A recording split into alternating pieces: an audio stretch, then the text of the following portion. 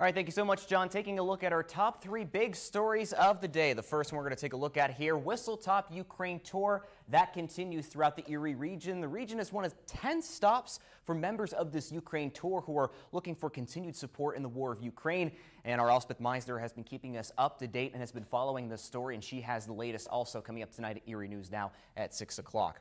The second thing that we're going to take a look at here, Pennsylvania Transportation Secretary visits Erie, a chance for agencies to network and to talk about some of the industry trends. And finally, it's having to do with summer, summer safety and summer travel, a time to really get out and enjoy that sunshine, but just for how long? We do have tips from EmergyCare experts on keeping yourself cool and healthy throughout the heat. So as we move to the main desk here, I've been looking forward to this walk here with Ariana Meyer. I've seen it time again and time again with uh, Eva Mastromatteo and Ethan Kibbe, but that was the first time I got to do that. Let's chat a little more about some of these stories here. The Whistlestops for Ukraine tour had members of the German Marshall Fund and the Howard Buffett Foundation meeting with Erie leaders and residents to learn more about the region. The day began with a meeting between the New American Council, Mayor Joe Schember, and the German Marshall Fund.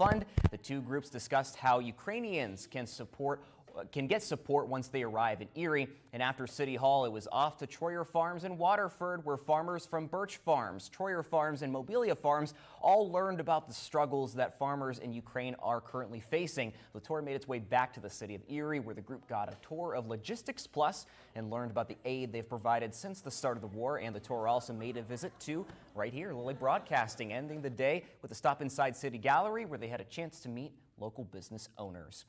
In other news, police are investigating a workplace shooting in eastern Pennsylvania that has left two people dead. Delaware County authorities say the shooting happened at a family-owned linen business this morning in Chester. That's outside of the Philadelphia area. Investigators say at least five people in total were shot. Three survived and were taken to a local hospital, one in critical condition. Police saying the shooting took place both inside and outside the business and a handgun was used. Police say the suspect was taken into custody after leaving the scene. Investigators added that the suspected shooter had issues with colleagues in the past. There were no signs, advanced signs rather, for the shooting that took place. With